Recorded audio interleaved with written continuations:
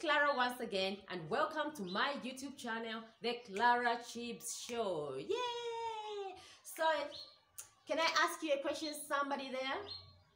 Do you want to lose weight? Do you want to maintain your weight? Or do you want to gain weight? Anyway, today I have something to tell you guys. Today I want to start this series where I'm going to be sharing my story of transformation through losing weight. How did I do it? What are the what are some of the challenges that I faced while I was trying to lose weight? What did society look at me after losing weight?